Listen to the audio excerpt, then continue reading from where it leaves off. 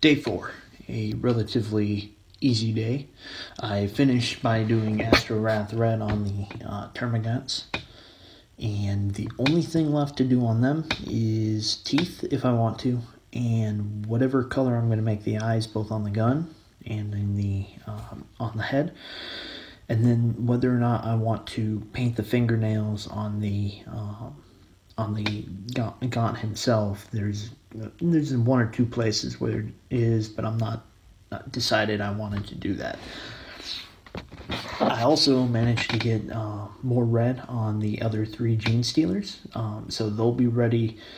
Now, of course, I'm, I'm, still under decision as to whether or not I want to uh, paint any more red on these on these Genestealers. Um, maybe somewhere on the legs, but other than that, I think I've got all the red on them I want.